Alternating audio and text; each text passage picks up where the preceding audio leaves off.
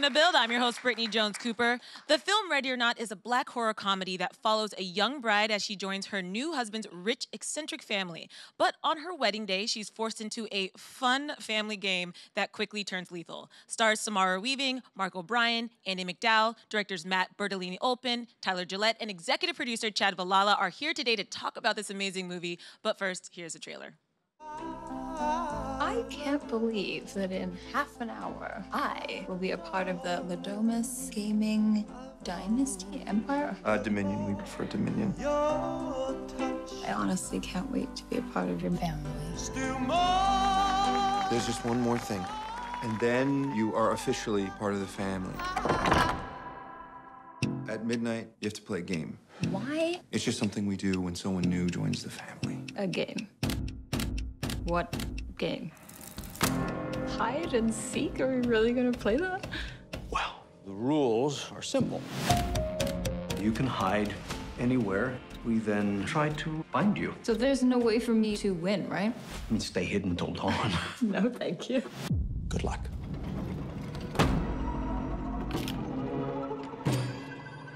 What the hell is this? How old is this thing?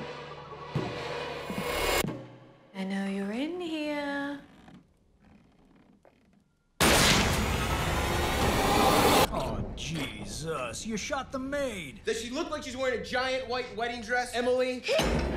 Holy shit! I had to play along so that I can get you out. It's Insane.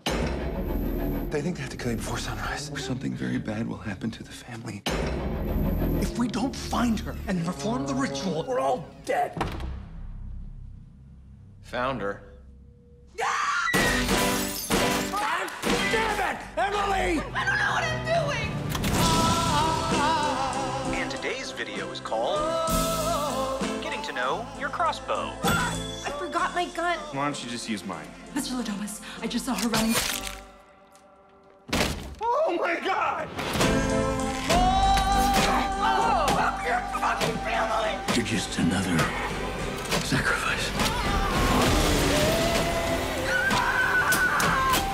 Do you think this is a fucking game? Yes, hide and seek. Remember? He wanted to get married. No, I'm sorry. I'm sorry. I'm sorry.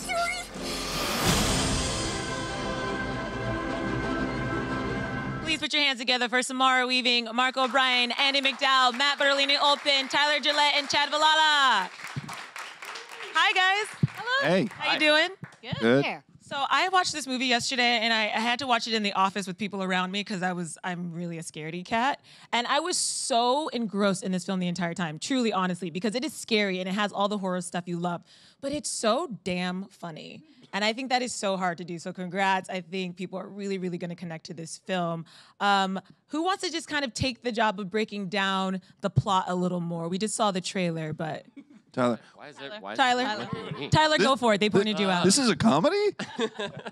Um, this movie uh, it follows a young woman who who marries into this incredibly wealthy and very eccentric family, and she realizes on the night of her wedding that to be truly accepted into the family, she has to play a game, and um, she uh, she chooses the the one card you don't want to choose, hide and seek, which is the one game you can't win. Sounds so innocent. Yeah, so innocent, and she spends the rest of the uh, the rest of the the night fighting to survive. Yeah. And I love this script because, you know, rich people are crazy. We all know that. And this really sort of magnifies what happens when rich people just get kind of bored sometimes, maybe. Um, so, so Matt, take me through where this script came from and, and why it was something that really drew you to the project. Um, it was written by Guy Busick and Ryan Christopher Murphy, and we got when it got sent to us, it was just it's exactly what you were saying. It had this great kind of social commentary, but it was so fun and so funny, and it had these perfectly drawn characters. Like everybody is their own character, everybody has their own moment, there has their own arc, and to us, it was just like, oh my god, we cannot wait to try to get involved in this. Yeah. And Samara, what was enticing for you? Because you're in a lot of scenes, and in a lot of scenes, you are running or fighting or in this high state of anxiety. So that was attractive to you. yeah, I, uh, I I've done a couple of these genre films, and this was the first uh, character that was the protagonist that I got to play. And um, I wrote the script and I loved it. And I spoke to Radio Silence about um, making sure that she was really tough and smart and and strong, uh, rather than being the damsel in distress, which is an easy way to go with this kind of character. So I was really drawn to um, that challenge of making her determined and mad, and you know, starting out very frightened and shocked, but getting angry. I'm interested what your process is like every day going into these scenes because she is really kind of like functioning at 11 all the time. So what did you have to do to ramp up to that kind of state of anxiety? Oh, I have constant anxiety all the time, so it came really naturally. Yeah. That's okay. That's a really on point answer. I do too. Um, and you play her husband, Mark, and he he's an interesting character, and I don't want to give too much away, but what do you think his motivations are, or how do you view him? Uh, I think he's the greatest hero in cinema history. Uh, I think uh, that speaks for itself. No, I, I, I think it's an interesting character because he's basically just trying to have it. He's trying to have his cake and eat it too. He's trying to have everything. He wa- he wants to be with her, and he wants to sort of please the family, just so he can do this one last thing and then go. But at the same time, I, I don't think he ever thought that this situation would actually materialize. So, so it's kind of like his nightmare as well, while at the same time trying to save her and quell her fears at the same time. So it's it was really interesting. I mean, it, it went in a lot of different directions. What were the conversations on set? Because uh, the, what this movie does is it puts you in all these scenarios where you have to think, what would I do? So did you guys have those conversations a lot about these characters? Like, what would I do if I was in that situation? Or what call would I make? Well, when this specific thing did happen to me in real life, I uh, responded pretty much the same. Uh, I don't know. I mean, that's the whole job of acting, right? Like, you, you just what would you do in this particular circumstance? Use your imagination on on how you would handle that thing, and and you know that's why you always respect the character you're playing because they have a motivation of why they would do something. Um, yeah. And Andie, you play his mother. The mother of the groom. Yes. Who is an interesting mother-in-law, which maybe is a nice way to say that. Uh, do you think her intentions are good, though? You know, that was the interesting part for me for the character is that I felt that she had deep empathy. She had empathy um, for Grace. She loved Grace. She she actually saw in some kind of perverted way, like, oh, this beautiful girl is going to take her place. Like, oh yeah, she's acceptable, and um, and she and plus her son. She brought her son home, so she's so grateful for that. And it's unfortunate that this is, you know, what we have to do, but it's it's you know it's a necessity. Uh, It's what we have to do to pres- preservation of our own lives. And I think there's a part of my son that truly loves his family. I'm sorry, I still think. I still think that you loved her, you loved her, but. mhm. It Yes, was I- fun yes, I- It was fun playing that, you know, that mother knows and the, the understanding of my my favorite child. So You also so go ahead. No, I was gonna say. I mean, when when Andie MacDowell's playing your mother, you're just like, yeah, I'll do whatever you want. So yes, yes, you're exactly right. Andie, you also have uh, a lot of, I think, what, some of my favorite lines. It's like when moments are really heightened, you kind of come through with these comedic jabs that sort of like calm everything down. that was what was so amazing about the script. It was everyone, everyone had great lines, and I did have a lot of really good lines. They gave me some great stuff. There was really good material. Plus, on top of it, they allowed me to embellish my character in a way that made me feel more confident in it. Like they let me say certain things like "holy dick." That was my idea, which sounds so small, but it actually really worked. And for the character, it was just like so an, a weird thing for her to say. Plus, her relationship with her husband, I think you could kind of feel it. It just really worked. And they let me do stuff like that. So, and then we improv some. We can't say bad words on here, can we? can. Uh, okay. Absolutely. Uh, buckle up, everybody. Oh yeah, everybody. piss away. In that Yeah. case, I love that you said "holy dick" and it was so small. But All right. holy dick. In but that the thing of it is, is my dad used to say holy dick, but I never really. He was. You had to know my father. He was extremely proper. Yeah. So it was such a weird thing for him to say. That's why I loved it because I just thought it was perfect for her. But anyway, there's this thing where we're trying to figure out what to do with the lanterns because you know we're dealing with the lanterns and figuring it out as we're shooting it. And I just said it. They just. I said I'll take care of it, and I just said give me the fucking lanterns. you know. But it was funny. It was funny, and then everybody laughed. I was like, yeah, okay, that worked. And Chad, take Excuse me. my language. No, don't please. Uh, Chad, take me through uh, how important it is to balance that comedy with the horror and how you guys sort of were able to figure that out. I, I mean, I think tone is very important to something like this. Like, you, you want to live in the tension of the moment um, when you're doing something, because then you don't know if it's going to end in either a scare or a laugh. And just like really grinding that out, and through these incredibly well grounded performances from these three and the rest of the cast, we, were- we were able to like teeter that line a little bit. Like, are, are we going to laugh next? Are we going to are we, are we going to get a splat? You know, so you don't, never know what's coming next. Yeah, and for people who are afraid of scary movies, that is so welcoming because there's like moments where you're like, I don't know if I can deal with this anymore, and then they make you laugh, and it's almost like you get a reset, which is so important in a movie like this. Yeah, no, it's it's fun. You need that type of release uh, um, throughout the, the course of the movie, and and that's very like you know true to life as well. Like you need to laugh when things are very very difficult and very hard, and you're going through like a crazy situation. Sometimes you just got to be like, what the fuck is going on right now, you know, and like have a have a laugh at it. Yeah. Samara, can we talk about the ro- wardrobe a little bit? I feel like so many people are going to go dress as Grace for Halloween. Oh, please do. That would make my day.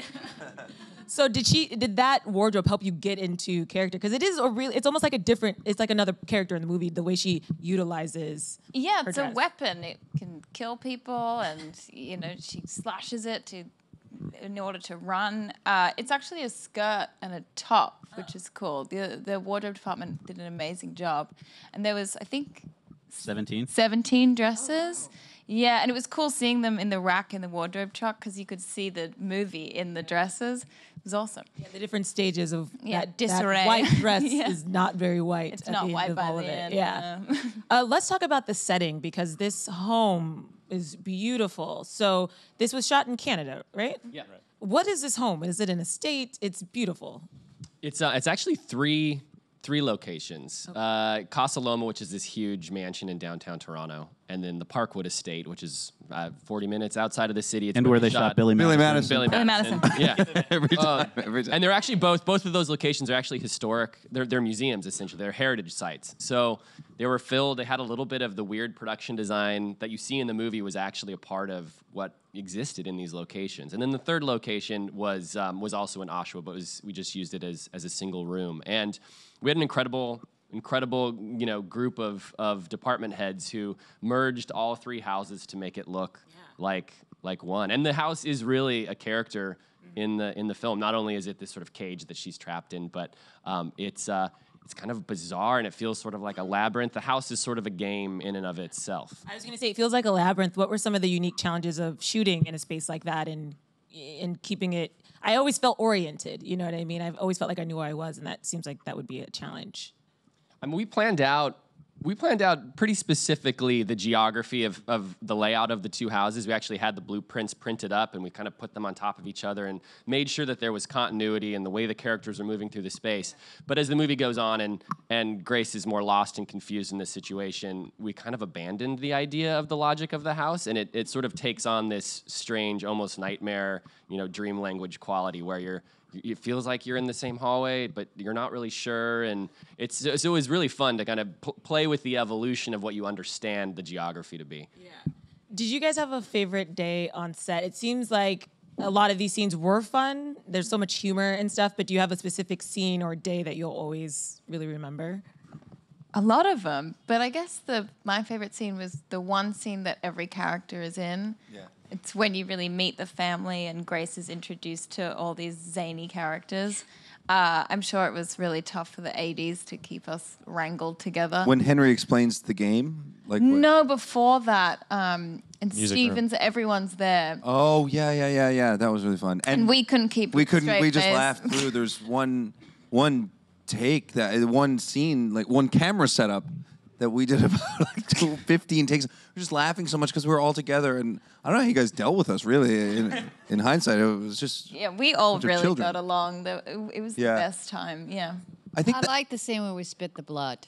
Oh yeah. But you were tied down. I was tied down, yeah. Yeah. Yeah. She said that spoiler. was bad. I felt really bad for you. And they were tying you pretty hard, too. Oh, it had to be real. The legs just laying there, tied down. While we were spitting blood. Cool. I was involved. I could like see you from the table. It was great. Does that get you guys excited to watch this? When she's like, "Yeah, when you were tied down and we were spitting blood," it's like, what? What was the bloodiest day on set? I can kind of imagine. The, it was the it's the, la- the end of the last movie. scene. That last scene is amazing. I cannot wait for people to see this last scene. It is simultaneously terrifying and hilarious. I don't know how you balance that out. What were your reactions when you saw what was the final final product? Just thought the timing was so perfect. That's all I can say without giving it away. It's very funny. It's very funny and shocking. Yeah. Uh, and then just on a personal note, do you guys like games? Do you guys have like family game nights? And has that changed how you approach them at all? Yeah, now we uh, drink blood and tie people down. There was a lot of innocence actually on set. They played intellect and smart word games, like kind of nerdy. Yeah, we would word nerds. word games. And but the rest of us, because we worked all night. You know, you know, I didn't work as some poor Samara had to work so hard, but um, we just sat around. We played games all the time, sitting around and talk and kind of messed around and. Yeah, we were never not joking. It, it was a really, it's rare to have this kind of a group together because sometimes at least one egg that doesn't really fit in or something like that. But it was just like really wonderful and sweet. And, and I mean, this is why I You want. get weird at three o'clock in the morning. Yeah, and it's nice when other people are weird with you. yeah, and we're all weird. Yeah. It's like we were all stoned, but we were sober. yeah. Isn't that the best way to I be? know, it's great. Yeah, it's great. Can you I'm just just make- regular stoned right now. I was gonna say, can you make that the tagline of the movie? We were all stoned but we were sober. That's amazing. Well, before we get out of here, we do have a couple of questions from the audience. Uh, who do we have first? Right there. Hi, everybody. Hello. Uh, I saw the movie yesterday, and I just wanted to say congratulations. You guys created something truly unique and entertaining, and thank you for the movie. Um, Samara, I have, my question is for you. Um, you've mentioned it already. You're very familiar with the genre. You've played now protagonist and antagonist, crazy person. And I was wondering if you have a preference. Do you like being the good guy or the bad guy? Both, I think. If it's a good script and uh, you know great people to work with, I mean, it's always fun to play an evil, crazy psycho. But um, I really enjoyed playing Grace too, so I don't have a preference. Yeah. Do you- did you enjoy the physicality of the role as well? Yeah, it was great fun. Yeah. Yeah. W- Was there like a, a hard scene or a stunt or something that you just were really looking forward to? Um, on day two, I was uh, fighting Andie MacDowell, so that was pretty fun. that was on day two. Yeah, it was day two. It was like, hi, nice to meet you. I was choking her in, in between every take because I throw her up against the wall and have to choke her. And you want it to look real, so you can't, you know, you, you can't like be flimsy about it. No. But I didn't find out till yesterday that I was actually kind of joking her. Oh, it was fun. But she was actually, I'm she not kept complaining. telling me she was okay. I was like, are you okay? I was Are you okay? I'm good. She kept telling me to keep doing it. Yeah. And then they started recording film. I was gonna say you should put that on your IMDb. Like Oh, yeah. special skills like choked out by Andie MacDowell. I don't know. I would. And one more. Hey guys, hey. I was wondering if you found yourself in this situation where you had to fight for your life like that, what weapon would you choose to fight for your life with? We're gonna take this one by one. I want everybody to answer this one. Who wants to start? Um, I say, but this is if I had to get away with it. I'd say the ice pick because then it melts and you can't find the weapon. Ah, clever. That's well thought out. dark. Well thought out. That's dark. Appropriately sociopathic. That could be incriminating down the line if anybody. Yes. well, she did say I ice pick. said it. This one. She warned us. There was a puddle on the ground. Yeah. Uh, I don't know. Um, rocket launcher. Let's go rocket launcher. Did- We didn't have a rocket launcher, did we? Was there a rocket launcher? Did I have to pick something from the No, movie? you could Just in general. go big. I was going to say something that would really work, but I don't want to say it because it's something that we should get rid of completely. Oh, yeah. But I mean, you know, they seem to be working. Yeah. So let's, Fair enough. let's get rid of those. Yeah. How are you? Um, I thought the crossbow looked cool. I'd, I'd try that. Would you have to Google how to use it first? though? Absolutely. No. yeah. Absolutely. Uh, I, I'd, I'd go lightsaber. Wow. Wow. Oh. Well. Beat that. I don't want. I don't want to go. I, I changed my answer. I, Yeah, we all changed our answers. to We're all Changed getting lightsabers now. Lightsaber's way better. Please. I think I do the battle axe. I just the way that Nikki is holding it on the poster. It's kind of a character in and of itself. I'm I'm all about that battle axe. She's terrifying in the movie as well with that axe. Um, like I said, guys, this was such a fun ride. and I can't wait for my friends to see it so we can talk about it and all this weird scenarios your characters get put in. Um, if you guys want to check it out, Ready or Not is in theaters now. Put your hands together for Samara, Mark, Andie, Matt, Tyler, and Chad. Thank you, guys. You got it. Thank Thank you. you. Woo.